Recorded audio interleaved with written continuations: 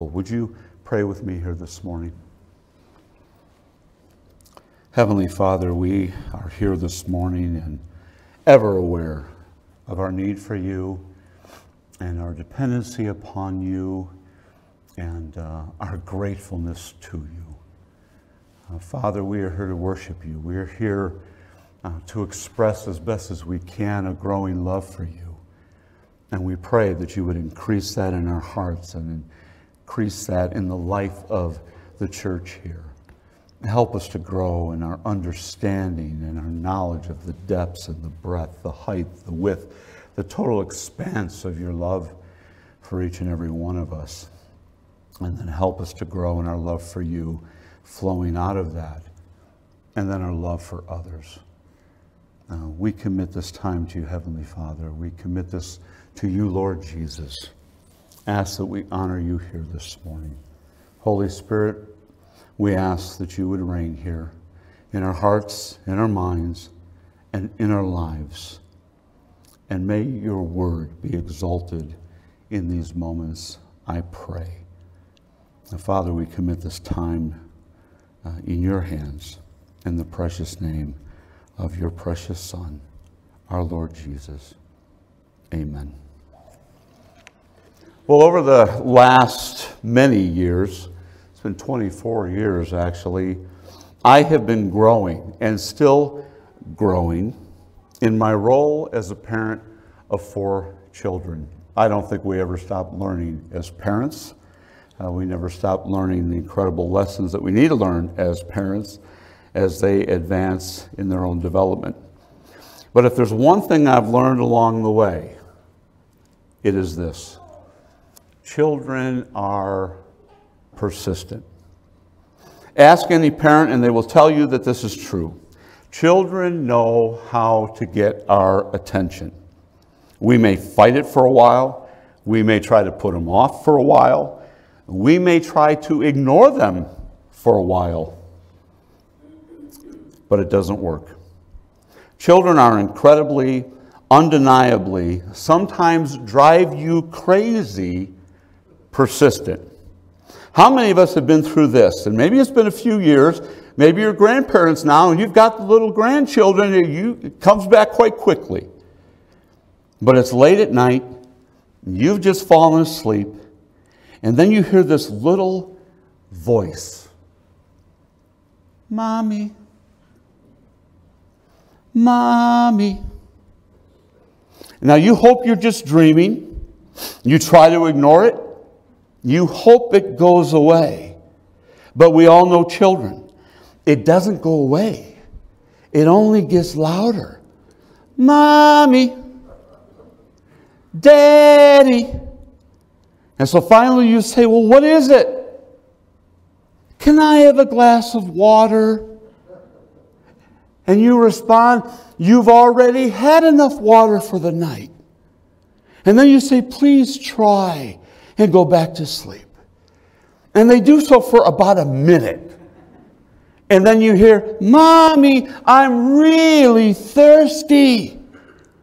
And what happens next is amazing. We get up, we get them something to drink, we pat their little back, and then we go back to bed and we sigh a big sigh, and then we start to actually pray that they'll make it through the night. I have noticed that children learn this at an early age. The minute they start breathing, you take a little infant and they know how to be persistent. They cry until you calm them, they cry until you feed them, they will cry until you change them. They will cry until you hold them. And they will cry until you gently rock them to sleep. And so, what do we do?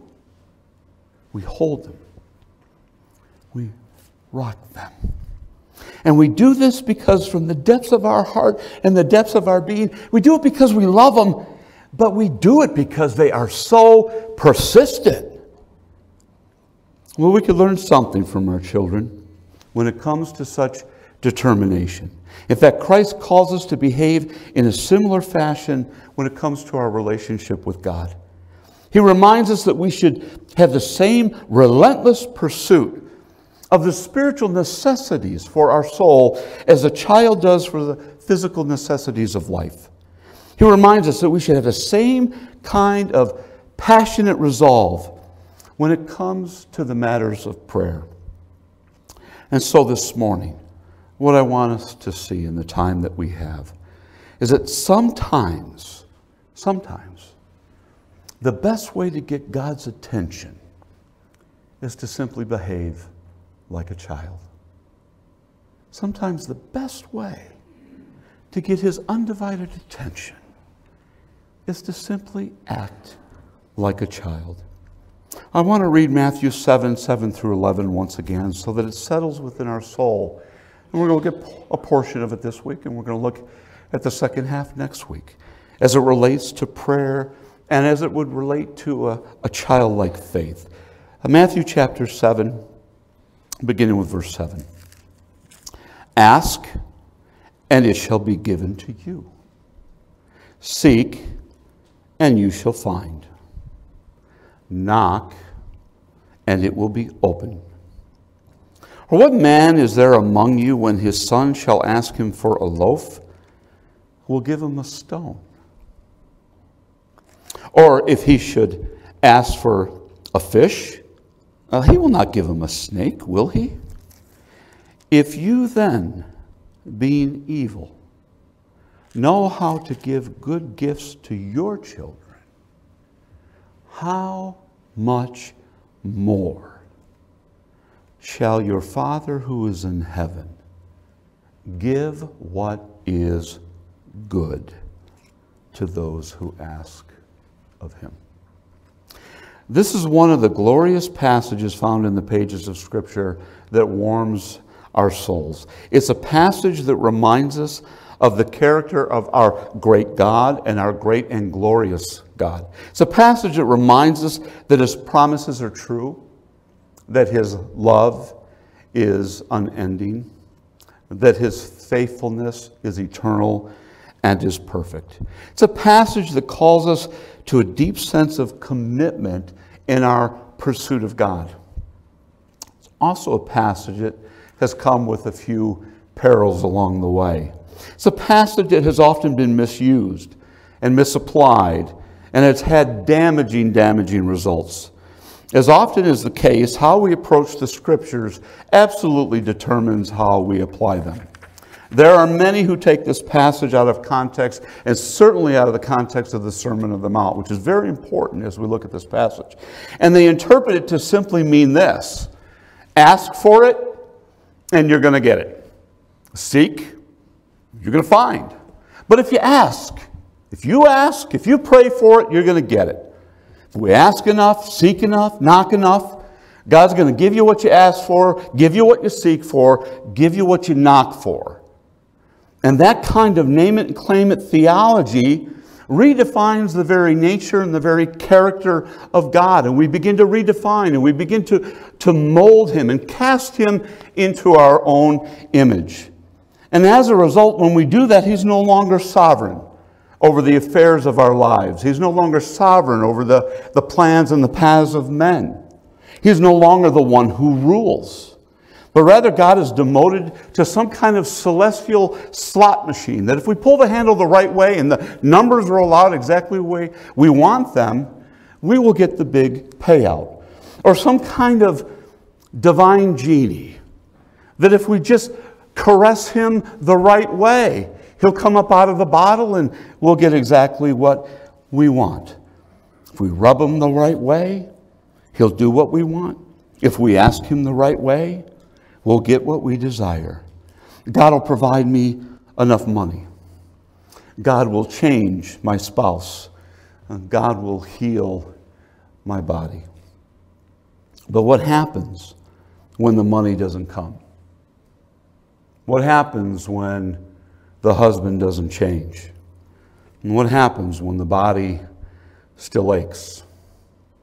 And what happens when the child doesn't come back home? what happens when life remains the same? Will people become disappointed with God? When that happens, we begin to doubt His word. We begin to doubt His promises. We begin to doubt His character. And then we start to doubt His love. And then we start to doubt His care. And rather than running to God, the tendency is we begin running from God. And tragically, the only time that our faith is strong is when God hands us what we want. But when He doesn't respond, when God is silent, our faith becomes frail. I think we need to know that Christ would never teach anything that would cause that type of reaction. The focus of Christ's teaching this morning is to cause us to turn to God in faith, to trust Him with our lives and our needs, and to come to Him with the faith of a child. Christ is pointing to the process of spiritual transformation in this passage. Not the material wants and the needs, though they, they are in there, but at the core, at the heart of what Christ is teaching, He's trying to get the heart of us and to the heart of transformation.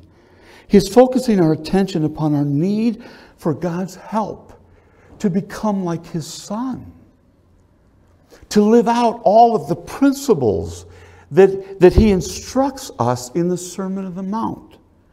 In the Sermon of the Mount, Christ is continually calling us, challenging us as kingdom people to live in light of kingdom principles so that we make a kingdom impact in the world in which we live.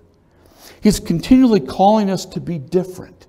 If you know anything about the Sermon on the Mount, in fact, I'd encourage you to read this week all the way through. It'll take you 10 minutes. Shortest sermon you ever heard. But he'll say, You've heard this. You've heard it said this. But I say to you this. You've heard don't murder, but I'm telling you, if you even get angry in your heart, you've heard this. You've tried to massage and manipulate and manage the truth of God, and you've reduced it down to what you can contain and compartmentalize. But I say to you, it goes deeper than law, it goes to the heart. Anyone who properly understands this sermon recognizes how impossible it is to live like this without Him. We can't do it without Him. It becomes dry, it becomes dead, and there's no life in it. It's unnatural for us to live the principles taught in the sermon. In fact, we do the opposite.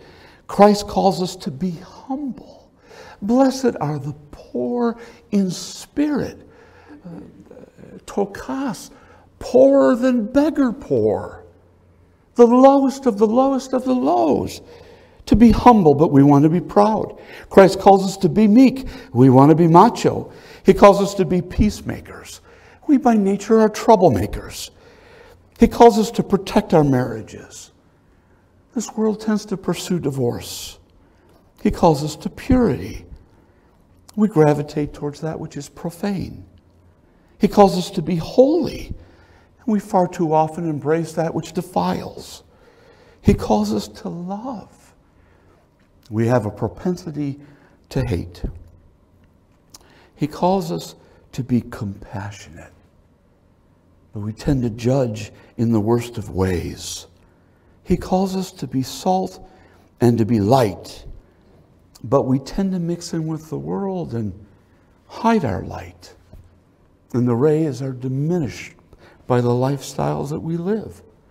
And so verses 7 through 11 are couched in the context of our needing divine help to live a life that is a reflection of our Lord. And so, if we're going to live as kingdom people and live in light of kingdom values, then we need the help of the king to have any kind of kingdom effect and kingdom impact. And so, when it comes, get this, when it comes to getting help for our souls, when it comes to getting help for the things of eternity, when it comes to getting help for kingdom advancement, sometimes the best way to get God's attention is to simply behave like a child. Christ reminds us that when we pray, but especially when we pray for our spiritual lives, we are to pray with the persistence of a child. Listen what he says Ask, it will be given to you. Seek, and you shall find. Knock, and it shall be opened to you. Each term is progressive in terms of its intensity, in terms of its energy, and in terms of its effort. Now, Christ moves us from a simple petition to an active persistence to an aggressive pounding. First, we are to ask. Well, the whole idea of to ask outright, to appeal, to request, but it's stronger than that. It carries the idea of to even demand. Now, that's staggering to me because how do I approach a God who is so much bigger than I can even imagine and demand anything? But that is what Christ is asking us to do. Then we're to seek. It gets a little stronger. To strive after, to search for, and to seek after a technical term used by the Greeks for seeking after knowledge and seeking after wisdom. A judicial term meaning to investigate or to deliberate over something. By way of application, for us to strive after, to deliberate over the things of eternity, to deliberate, to contemplate deeply the character and the wonder and the attributes of God. That is what Christ is calling us to. And then to knock. Now, carries the idea of to knock, but to knock, to knock hard or to pound. It carries the idea of a person beating down the doors until they can enter in. Now, when my daughter was younger, in fact, all four, but my daughter especially was younger, we used to love to play hide and seek. I liked the job of hiding, as she would seek. And I would find creative ways to hide, and as she would discover me, I would, you know, ratchet it up just a notch. So I'd go hide in the closet, and I'd mean I'd really hide in the back corner of the closet. And my daughter Christina would go around the house and, you Daddy, where are you? Daddy, where are you? Well, I'm in the back of the closet after a while, I'm starting to get bored because she's going around and around and around. And I'm like, I'm going to be here all day. You know, she's in the bedroom, she's under the bed, she's everywhere but where I am. Daddy! So finally, I hear little footsteps. I make a little noise in the closet. You can almost hear little, my, little, my little girl come back to the closet door. Daddy, are you in there? Daddy? I make a little more noise. Daddy, are you in there? Boom, boom, boom, boom, Daddy, get out of there. It's that kind of imagery. Each term is what the Greeks would call a present imperative. It means two things. First is to be a continuous effort for each term. So we don't just ask, but you ask and keep on asking. Seek and keep on seeking. Knock and keep on knocking. Daddy, daddy, daddy, daddy, daddy, get out of there. Secondly, it's an imperative command from Christ, meaning do this and do this now. Now, there's some technical terms, so don't get lost in that. But the, the imperative is the idea of the imposition of one person's will onto another so that you move them to action. So I, as a parent, are looking out the kitchen window. I see my son playing in the street. He doesn't see it, but I see it, and I start to see the car coming down the road. And so from the kitchen, out the window, I yell, Will, get out of the road. It's the imposition of my will upon my son to get him to move to action and to get going. And that's what Christ is calling us to do here. Ask. Eh, can you imagine our Lord telling us to get into a place to demand from Him? Ask, seek, knock. Go ahead. I can handle it. I can take it. I can do it. You have my full permission to beat down the very gates of heaven and approach the throne of God. Hebrews tells us that we are to race into the presence of God, to run, but to literally leap into the Father's arms before the throne of God. And Scripture says, with confidence and with boldness. What Christ is calling us to is an ongoing process of persistent prayer. What Christ is calling us to do is to be people who pray like there's no tomorrow. Have you ever noticed how our prayer lives change when a family member is sick or is dying or there's an emergency? Have you ever noticed how the focus of your prayers change? Have you ever noticed how the intensity of our prayers change when there's an emergency, when there's life on the line? We don't stop. We pray until we're worn out. We pray until we weep. We pour our hearts out before God. I lost my mom to cancer 10 months after my wife and I got married. And I remember I was at some friends, and my, my uh, stepfather made the call. I knew that uh, my mom, I, I knew that my mom was sick. I did not know how sick. And he called, and with tears, the only time I've ever heard him cry was he made that call, and he says, Your mom has cancer. I went home. My wife will tell you, I, I fell into the bed and I, and I wept. And I prayed and I prayed and I prayed. And it wasn't as much a praying, Lord, help her to live. You know, I want her to be with me. I want her to see our kids. I want, I want, I want. It was there. That was there. But I'll tell you what was really there. Father, please save my mom all of a sudden her soul came to the forefront because I knew she didn't have a relationship. And I asked, and I sought, and I knocked, and I knocked, and I knocked. And before her life passed on, she accepted the Lord.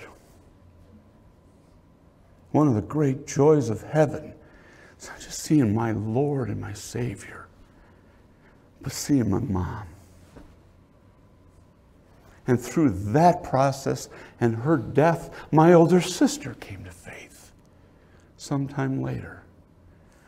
Our prayer lives shift when the matters of eternity come into focus. And we see this kind of diligence in Luke chapter 11, uh, verses 5 through 8. I want to watch the time here, but Luke chapter 11, 5 through 8. And I want to read that as well It'll be up on the screen for you.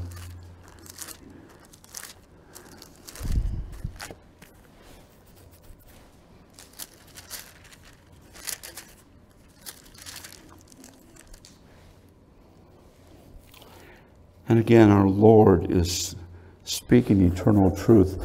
Um, Luke chapter 11, beginning with verse 5. And he said to them, Suppose one of you shall have a friend, and shall go to him at midnight and say to him, Friend, lend me three loaves. For a friend of mine has come to me from a journey, and I've got nothing to set before him. And from the inside he shall answer and say, uh, like we'll all say, Are you out of your mind? Do not bother me. The door has already been shut, and my children and I are in bed, and I cannot get up and give you something. But I tell you, even though he'll not get up and give him anything because he's a friend, yet because of his persistence, he will get up and give him as much as he needs. And he says, I say to you, ask and it shall be given to you, seek and you shall find, knock and it shall be open to you. And so our Lord provides uh, an illustration, a little story to help us get it.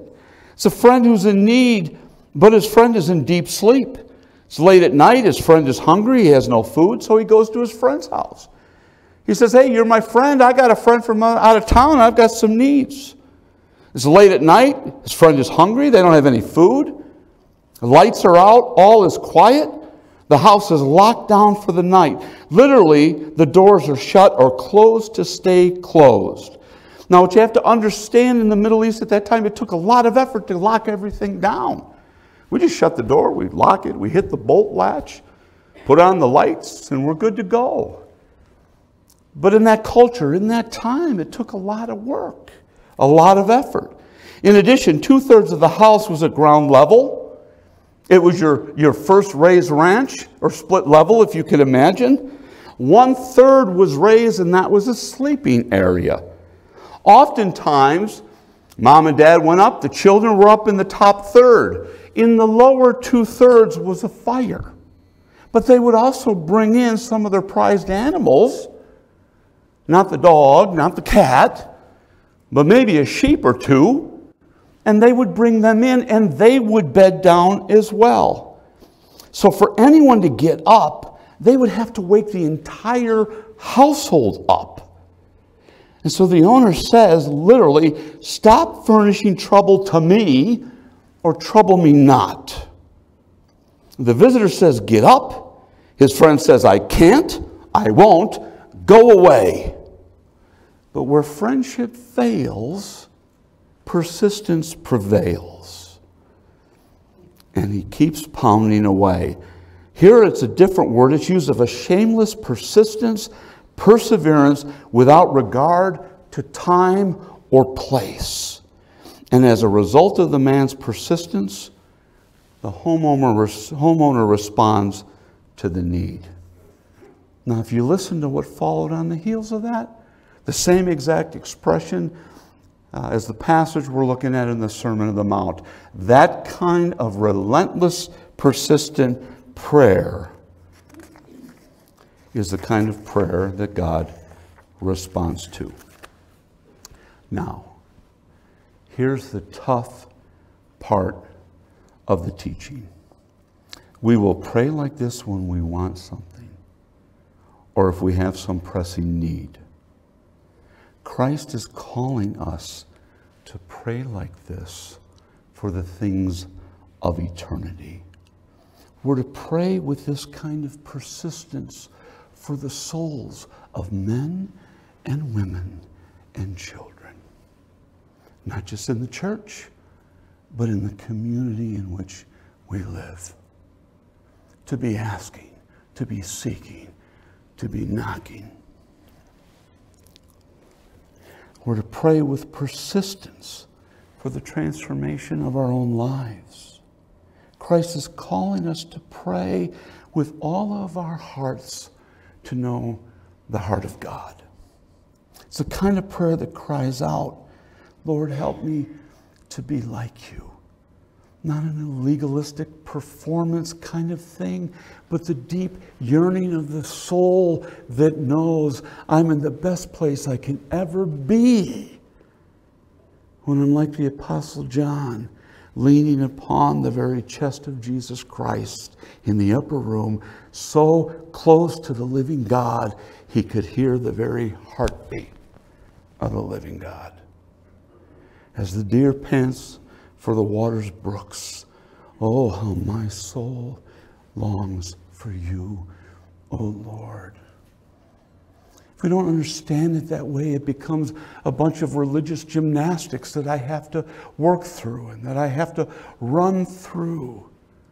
He's not calling us, he's not up there saying, you know, I'm having a good time Why? Why you're knocking your brains out trying to get my attention, that somehow if your knuckles are bloodied, I'll finally hear from you. And until then, I'm, I'm, I'm deaf to your pleas and I'm, dry, I'm, I'm, I'm blind to your plight. So just keep beating on. You know why he calls us to this? Because the more I do this, the more I look, the more I seek, the more I knock for that, that change in my life, but, but also for Him to use me in the life of another person. The more I'm praying like that, the more I start to be, compa- I start to be compassionate for that. The more my heart is breaking for the soul of another, the more I'm in a, a great place to be used of Him to read. He's trying to get my heart. It's not about me trying to get his. It's me being there and being reminded throughout the day that someone needs him. Someone probably wants him. They just don't know how.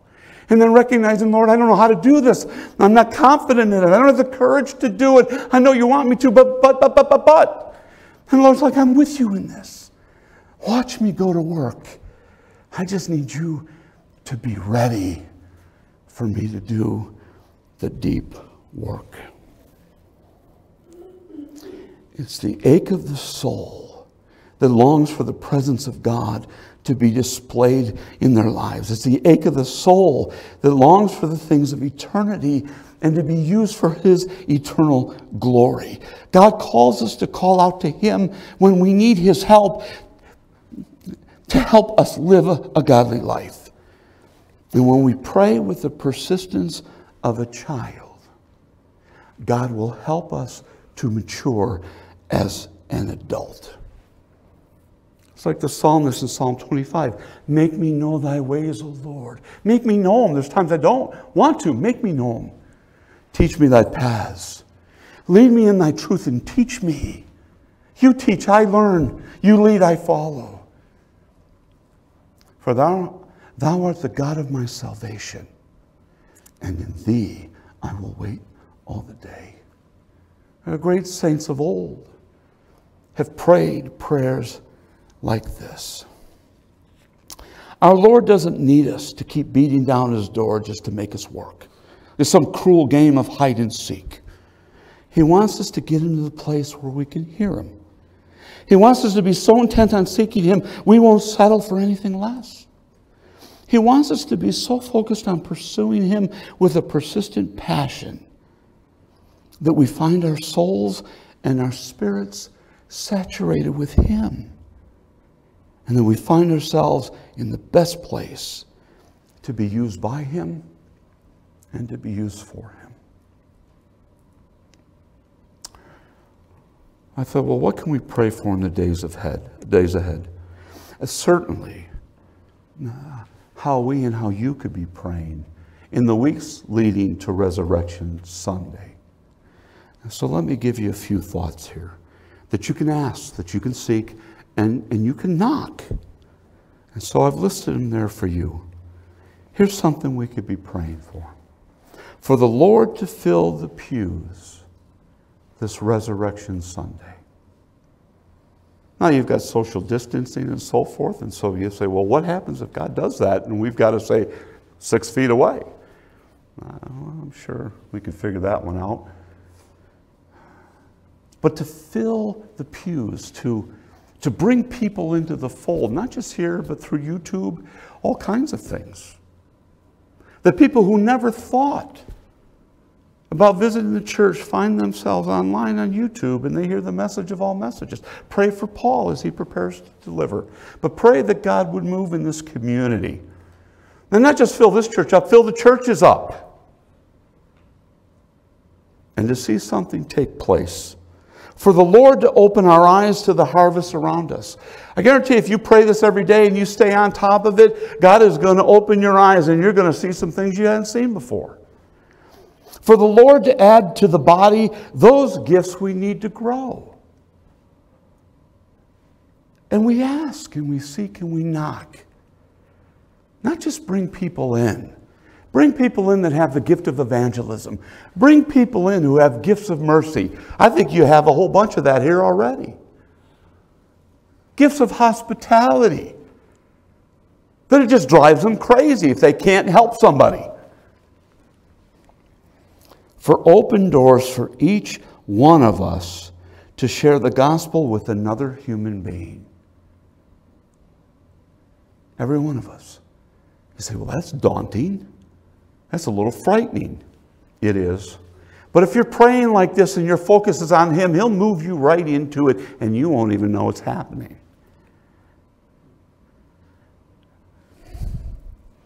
For the Lord to transform our lives, to become more like Him, to look like Him, and to love like Him. For the Lord to use me to invest in the spiritual life of another, to mentor them, to disciple them for the Lord to use my life to bring him absolute glory and advance his kingdom. Here's the thing we pray like this each and every day and throughout the day. Can you imagine what that will look like when God answers these prayers? And oh, by the way, that's the second half next week. I want to close here. But Christ has more to say, and more to say about how we pray. And we're going to discover that next week as we look at the second half of this great message. Because we're going to focus on not only how we pray, but to the one in whom we pray. Now, we pray with the persistence of a child. But next week we're going to learn we pray with the confidence of a child. Can we pray? Father, we give you glory. We give you honor. We worship you. And we thank you that you not only give good gifts to your children, that happens because at the core of who you will always be and eternally be, you are good and you are great. So we bow before you this morning. Help us, Father, so there's not a burden, but it's a blessing. It's not a hard time, but it's a time of wonderful oasis where we drink deeply of the things of you.